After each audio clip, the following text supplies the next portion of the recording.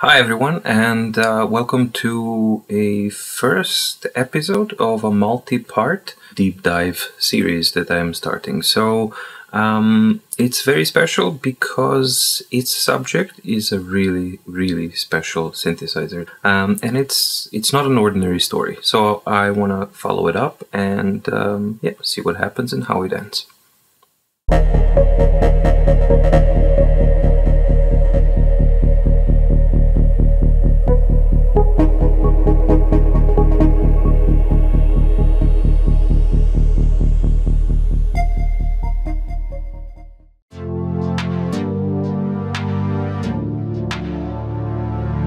About two, three weeks ago, an ad popped up for a Roland JD800 um, that was in a bad state and it was uh, broken and it was sold as for parts or reparation object. For about 20 years, I have pretty much uh, revered that synth. I've never owned it. The only one that I owned or still own is a Roland JD990, which is pretty much my favorite synth of all time. Uh, but the JD800 still remains this kind of mythical, elusive beast. And also, uh, a couple of serious users and really good musicians, they all say that even though JD800 and 990 are based on the same engine, that they are in reality when you use them as an instrument a completely different beast, mainly because of the hands-on controls. Either way, 20 years I have been pretty much dreaming about that synth, but whenever they appear, if they appear, they are really rare. And when they do appear, the prices are way too high for what I'm comfortable to pay for that. However, this one popped up and it was extremely cheap. So it was a no-brainer for me, I'm gonna get it. But there was a small problem. Uh, I'm based in the southwest of Norway, and uh, the ad and where it was sold was in Trondheim, which is roughly 520 kilometers from me in one direction. And uh, yeah, the guy wasn't willing to send it or was reluctant to send it. And also, if it's already in a bad state and it's a massive synthesizer, if it's not packed correctly, who knows what else can happen. So I kind of decided, um, yeah, um, I'm gonna drive there. so I kind of prepared and planned the whole thing and I made a big drive so it's like an 8 hour drive in one direction so it was 16 hour drive uh, so yeah I started driving around 6 a.m. sharp got there about 2.15 picked up the synth turned around immediately and drove right back home and was home at a, a little bit before midnight as a drive it was really cool but already this whole synth uh, is more than just an instrument because it's starting to have a story behind it. The day after, I then kind of picked it up and started to kind of examine what's what. Now, it was sold, uh, the description was when you turn it on, it just makes a horrible noise, and that's about it. So let's see the state of the synth and uh, what did I get myself into.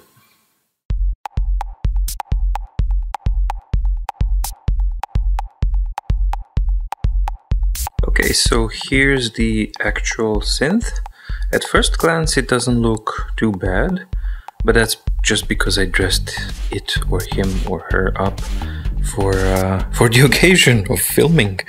Um, but yeah, when when when I came to pick the synth up, there was when I finally arrived there, there was nobody to uh, nobody home, and they just left the synth in the uh, corridor uh, for me to pick it up, and it was lying on the side with this patch being on top and it was broken in several pieces which you can see I've started mending. It was like a jigsaw puzzle. It's like piece here but somebody did a terrible terrible glue job here with some sticky tape inside. It's just a complete mess.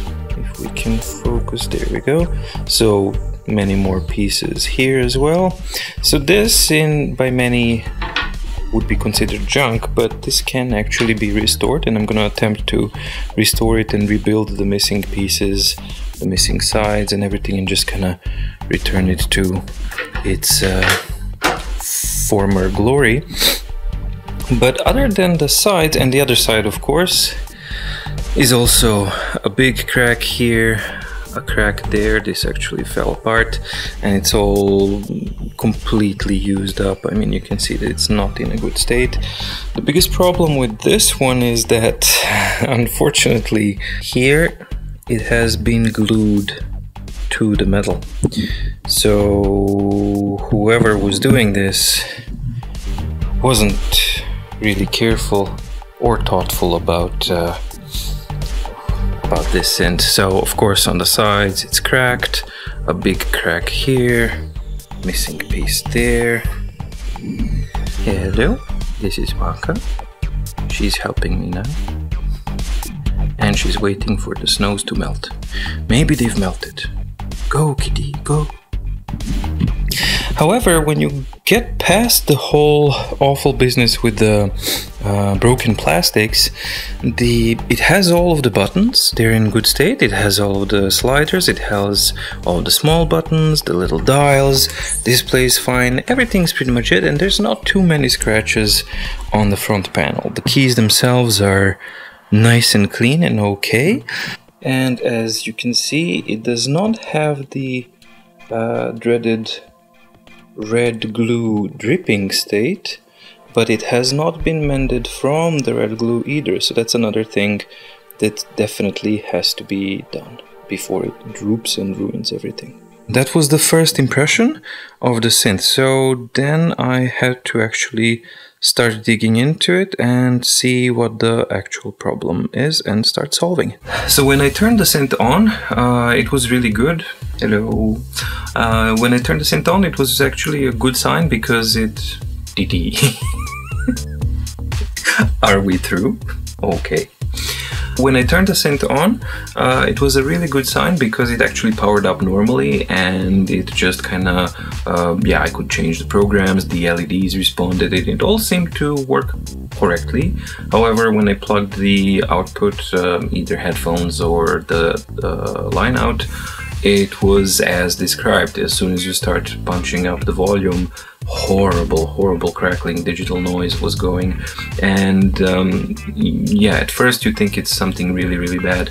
But then, um, yeah, I changed the program and the noise changed. I changed the program again and the noise also changed. The type of the noise and the intensity. It was always there. And then through careful listening, I kind of deduced, and you can actually hear it. I, I didn't know at the time that I was going to be making these videos. So unfortunately, I didn't record it but um, yeah, you could hear that the core of the sound was pretty clear and okay, but it was overshadowed by the effects being completely corrupt. So sure enough, I went to the effects panel, turned the dry out or the wet out all the way down, and all of the noise was whoosh, gone. So that was really, really cool. So basically, yeah, I identified the problem, or I thought I identified the main problem. Then I kind of scoured the internet and figured out there was an obscure post about um, it maybe being the FX RAM chips. So I ordered the FX RAM chips and waited for them to arrive. Let's now check the synth out from inside and show a couple of photos of what was actually the issue.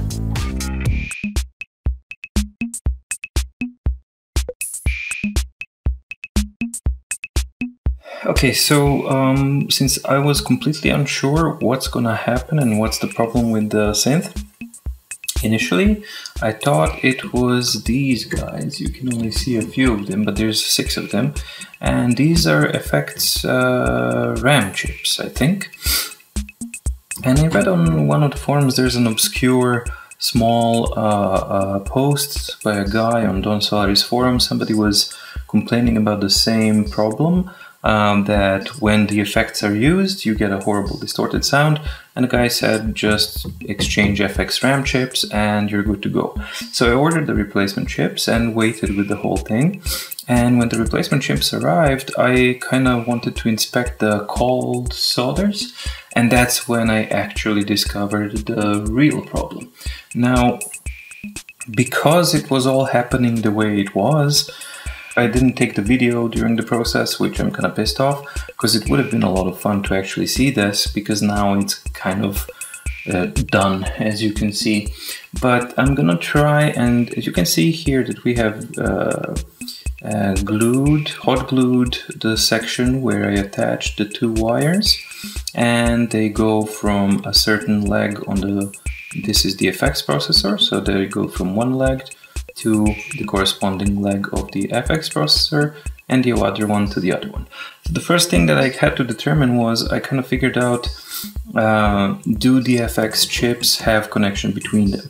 So I went with the multimeter and saw that um, you know the first pin to the first pin of every other chip works and all 18 pins they work. So basically that immediately kind of says that the FX part of the ROM chips works fine. However, then I started tracing uh, and I could focus only on this guy here because he is the one who transmits and is connected to the rest of them. The, he's the only one who has a direct connection to the actual FX chip. So then I went, it was just a matter of tracing each pin to these guys here. The rest of them are, the rest of the CPU goes somewhere else. But this block of pins here is responsible for the FX RAM. And so I traced it and kind of wrote down what's what because the original repair service repair manual was very difficult to read. Um, and I kind of figured that it's these two, and it was exactly where the corrosion and that weird gunk was on those pins and on the board. And if you can see here, and you can definitely see on the photos, but you can see here as well, these two are like burnt out. It, it's kind of strange. They, there's supposed to be a link here. This is not empty, even though it might look empty, but you probably should be able to see that there is a trace line underneath that blackness. So uh, it came down to then just a simple, simple matter of soldering on a wire, carefully soldering a wire onto just one of these small guys without touching any of the other ones and going then it's much easier to solder to these larger pins. But this was very very tricky and I can just give you a tip what worked for me and it really really worked well. I used a toothpick um, to get a tiny tiny tiny like literally just a sliver of uh, flux and I just put tiny bit of flux on the top and on the side of the two pins that I wanted to uh, solder. Then I used a relatively cold um, soldering iron, uh, 300 Celsius, and um, I would tin it with a tiny bit of uh, tin, just a, not not a huge blob, just the very, very, very slimmest sliver. And then I would simply touch the very tip here and here. And because of the flux, the tin immediately just goes onto the pin itself or, or the leg itself and it becomes very nice and shiny and that was really good for preparation. Then I used the same kind of technique for the wires. They were of course pre-tinned, but I would dip the tinned end of the wire into the flux and then just put it next to the wire, next to the leg of the CPU where I need it and simply touch and hold for two seconds maximum uh, the iron and then let go. Uh, of course, it didn't work from the first. For, for the green one, it worked immediately and it worked really well. So the testing method is, of course, you once you've connected it, you have to test it rigorously again with the multimeter, go through the pins and see if there's a short somewhere or not. It has to be a clean pin. If it's not, uh, it has to be a clean solder. If it's not, you have to desolder it, do the preparation again, and go again. Um, so the first one, I was lucky and it went brilliantly immediately. It just went whoop to the leg. The second one, because they are right next to each other, you can see how close this is. I can't really get any closer because I don't have a macro lens, but this is, here's the reference. My finger and thickness of a really thin uh, um, toothpick. So really, really small. Um, so that took four tries, three tries. I on the third try I was I thought I was good, but on the measuring I saw that there was a link and there was a short somewhere, so I desoldered it, and then in the end I was able to actually just get it done right. Now, why the hot glue? Well, without the hot glue, they are just sticking uh, out, and I knew that I had to bend the wires down so that they don't touch anything else and that I wanted to secure these wires. And my fear was because the link is so small and so thin, mm, I know soldering is solder is good and I know that I prepared it well, but my fear was that when I bend it, that they're gonna pop off and I really didn't want to do that again. So I kind of, you know, bite the bullet and I, you know, put a little gunk of hot glue here. Of course, hot glue is not uh, conductive and it just kind of protects this whole area from any further craziness. Then it was a simple matter of reattaching the wires to the corresponding pins and making sure that I actually have, before I put the hot glue, I made sure that I have a connection from each FX RAM down to the pins of the chip and then I knew that the connection was reestablished. Then I put the hot glue on and it worked. so this is the actual fix that I had to do. So something happened with these two that ate away the connection and a little bit of the board. So it just kind of went above and got it connected to the FX RAM here and it just worked brilliantly. But then I noticed that um, there were actually two problems with uh, with the synth itself. One was this, this was the most obvious problem and the most difficult one to fix. Um, and the other one came a little bit later upon testing everything.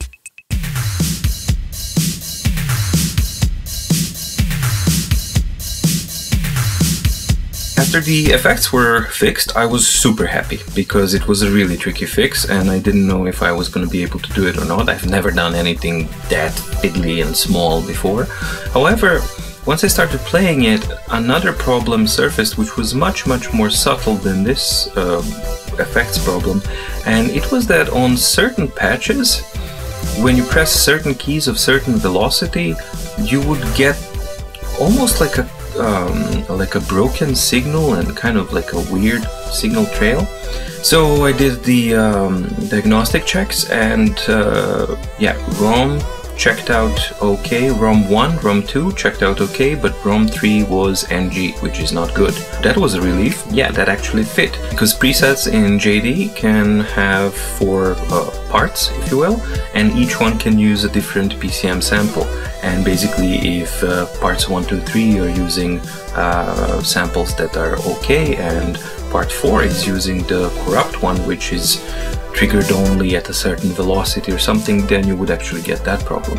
So I opened it up again and kind of take a closer look at that part and let's see what happened there. Once I had um, the FX problem sorted, I noticed that uh, even though the effects were now clean, there was still a, a, a kind of really weird rustling sound on certain presets. When I did the ROM diagnostic, the, the wave ROM diagnostics, it says uh, ROM 1 and 2 okay, 3 was not good and I was a little bit confused and it's like this is ROM, this is 1 and 2, where's 3? I mean obviously I consider that this whole thing here is just the wave ROM card, but that's not the case. These connectors here, and you can see underneath here these pins over there, they are actually, there's a ROM 3 chip of wave, waveforms, ROM 3 chip is underneath here. So Obviously there was something with the connection here, I reset all of these and then when I tried to reset this guy over here, I saw that somebody pulled by the jack and these are really specific, they're not meant to be taken off and if you do take them off you have to use a, a screwdriver or an IC remover tool and then be really gentle and kind of loose them up because it just uh, it has metal connectors inside that kind of you have to clamp the wire inside. It's a really strange connector, I don't know why it's used. But anyway, somebody tried to pull it off, and when they pulled it off, they ripped off all of the wires inside and then just kind of pushed it back in. So when I just even moved this, there was just a jumble of wires in there, and I was so shocked. I'm, I'm, I'm so sad that I didn't take a photo of that, but I was so shocked when I saw that that I just kind of like, okay, that's the first thing to do. So what I did was then I made a clean cut, uh, separated all of these, thinned, uh, thinned the wires, and they're really small, and I thinned them because I really wanted this to be a secure connection and that it lasts. So I then knotted them through this connector, which isn't an easy job. And uh, finally, when that was done, then I added some more hot glue all around here so that the same problem doesn't happen again. I slotted it back in, cleaned these babies up, and when I did the, the self-test, then the third ROM was now testing as okay as well. And more importantly, both issues, any kind of distortion was gone, and this baby started to sing again, which was a wonderful, wonderful, wonderful moment. After doing the complete checkup, uh, this is the entire list of things that have to be done. So basically, uh, the number one issue was the effects noise, and that's why, um, and basically the combination of effects noise and ROM3 not good issue. Um, they were in combination uh, creating uh, so much noise even when there was no notes on that the synth was completely unusable hence it was sold for parts and also it was abused on the side however this is the list of the issues that i uh, that the testing uh, self-diagnostic turned up uh, effects noise was the effects chip connection itself, which I showed, and that is now fixed. ROM3 not good, that was the bad wires that were ripped apart, and that is now fixed. Uh, and further testing showed that the following issues also have to be done. Bender modulation is not working at all, and also the bender, there's no pitch up, it just works on the pitch down. Uh, LFO1 type, wave shape, waveform type button doesn't work at all. There's no budging. Uh, I checked all, check all the sliders, uh, check all the buttons. We've done that. We've checked all the buttons. We've checked all the sliders, and buttons small, navigation, and large. We checked the pitch pots, and we checked the waveform encoder. So. Um, then we have reconstruction of the left and right side panels, preventing the red glue issue, and check the display connection for, because I noticed that the display has one vertical line that's missing and it's not displayed and that's usually um, a bad connection or a cold solder. So this also I will have to check. But for starters the main thing was to get these two points done because that determines if the synth is alive or not and now it's definitely alive. And these things are just cosmetics and kind of fine-tuning and making it shine and uh, really really be pretty.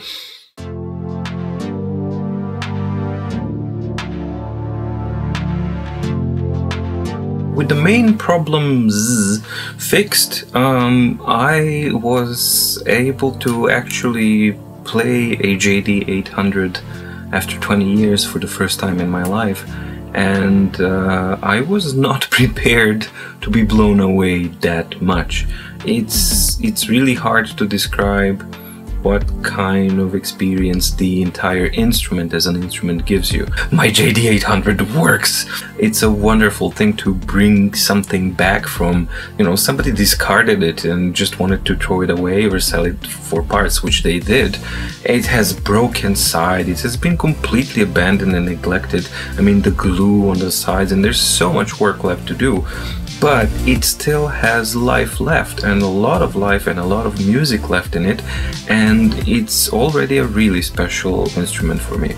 The initial time when I actually just powered it up and started tweaking and testing if it works, then I gradually just went into uh, playing it, then creating the patches and before I knew it, it was four hours gone.